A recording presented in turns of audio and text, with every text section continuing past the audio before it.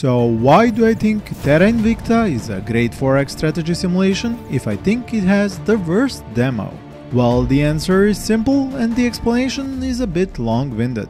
It's because I played the demo, tried out the game and ended up loving it despite the unfinished tutorial, some questionable UI choices, a horrible case of a horizontal game slice, I will explain that in a moment, and a totally player unfriendly space combat system. There are more positive and negative minor things, but I will mention them as I go through the main points. And please don't misunderstand me, this is a wishlist keeper game, but also a prime example of how to push away your potential audience.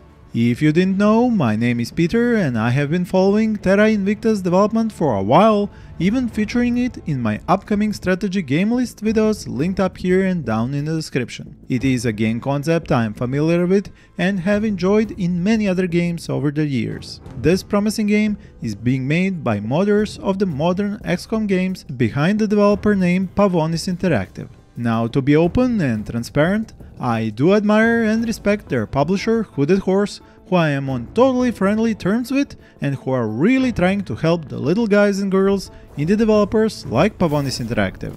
But that won't stop me from going native on this terrible demo, I might just tie up my language and keep the curses off screen. So with that out of the way, let us begin. Like most major 4X games, Terra Invicta gives you a huge map to play with and here you have not just planet Earth and its nations, but also the whole of the solar system.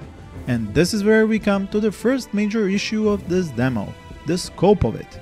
The full game has incredible scope and depth, slowly conquering from the shadows, building up and managing not just the whole planet, but an entire solar system with your chosen faction.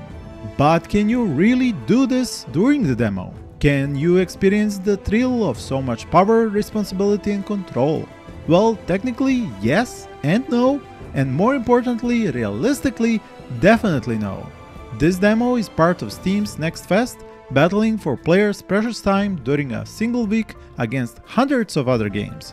So while the option to enjoy the scope of this game is there, it is not realistic to expect players to sink so much of their limited time into this one game demo. And add on top of that the warning you get when starting a demo game that you are limited to 7 in-game years of playtime. But how does a new player even know what 7 in-game years mean? It is meaningless to someone who has started the game for the first time in their life. If it said about 10 hours of real time on maximum speed, that would be comprehensible. If it said until the first major gameplay turning point, that would be vague, but still gives some notion of where it ends and what you can expect. This is where the horizontal gameplay slice I mentioned comes into play. Now if you're wondering what a horizontal gameplay slice is, that is when you try a game out starting from its very beginning like you do here in Terra Invicta with the ability to see and to some extent try out all the gameplay aspects. In this game, those are councilors missions, taking control over Earth's nations one at a time, interactions with other factions, researching technology, spying, resource management, but also politics, ground wars, nuclear strikes, space station and ship construction, and combat in space. The issue is that because of the mentioned scope and the horizontal nature of this demo, you cannot reach those, the most fun and challenging parts of gameplay. Yes, you can try out the skirmish mode with space combat limited to 3 ships, but this is where you're met with another two huge issues, lack of a proper tutorial and poor user interface design.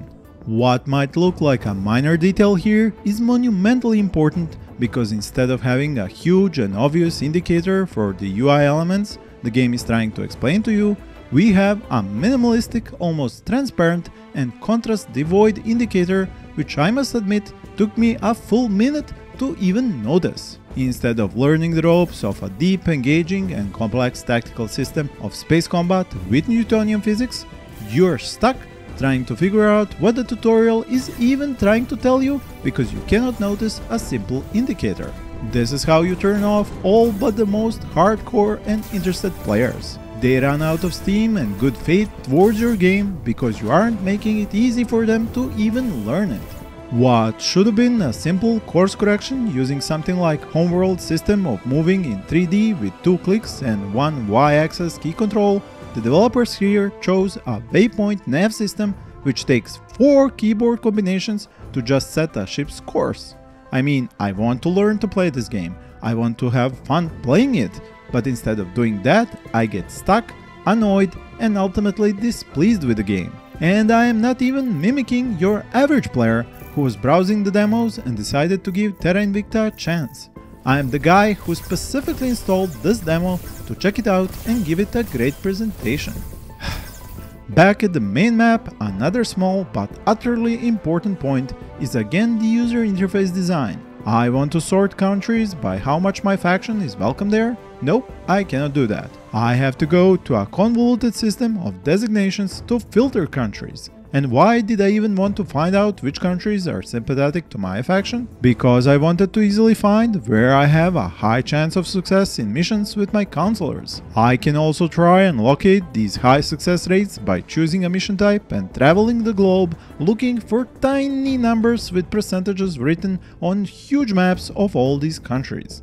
Instead of having huge font numbers right there for me to see, I have to scan the map every time I want to choose a mission location. You might think I'm just looking for things to bite on at this point, but it's not what I want to talk about. It's what I have to talk about. This is really important to get across to these and all similar developers.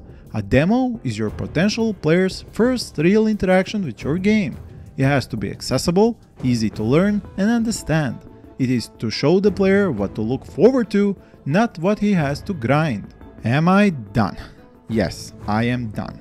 Terra Invicta has a great idea. It has a proper setting, a well-developed gameplay loop which builds on your own actions, sets you on a journey into its alien-infested story, gives you lots of choices and lets you fall down or rise up on the success or failure of those choices. Every layer of its gameplay is interconnected and woven into all the others in a proper 4X simulation manner. This is why it is such a shame it came out with this kind of a demo, which instead of giving a really sweet and tasty morsel to players to get hooked on and show them how much fun they can have with all the game's features, leaves a bitter aftertaste even after a tiny leak. I truly hope everyone watching this will give the game a second or even a third chance in the future because I can see you won't regret it as the potential is there. It just wasn't packaged in the correct box. Thank you for watching and listening to my mini rant about enjoying a game which tried its best not to let me do it.